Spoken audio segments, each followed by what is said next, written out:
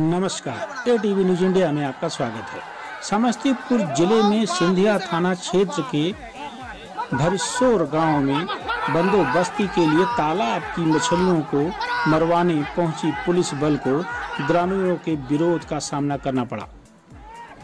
जब सैकड़ों की संख्या में पहुँचे ग्रामीणों ने पुलिस पर पथराव शुरू कर दिया। बताया जा रहा है कि इस मामले में कुछ पुलिसकर्मी घायल हो गए हैं।